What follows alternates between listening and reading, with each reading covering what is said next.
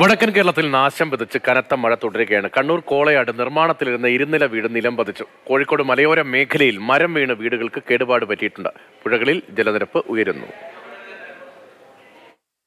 കണ്ണൂർ കോളയാട് ചീറേരി ബാബുവിന്റെ നിർമ്മാണത്തിലുള്ള ഇരുനില വീടാണ് നിലംപതിച്ചത് ലോൺ എടുത്തായിരുന്നു വീടിന്റെ നിർമ്മാണം. രാവിലെ അഞ്ചു മണിയോടെയായിരുന്നു അപകടം. കോഴിക്കോട് നാദാപുരം ചെറുമോത്തും വെള്ളൂരിലും മേപ്പയ്യൂരിലും മരം വീണ് വീടുകൾക്ക് കേടുപാട് സംഭവിച്ചു. മേപ്പയ്യൂർ ചങ്ങരംവെള്ളി മീത്തലെച്ചാലിൽ കുഞ്ഞബ്ദുള്ളയുടെ വീടാണ് ഭാഗികമായി തകർന്നത്.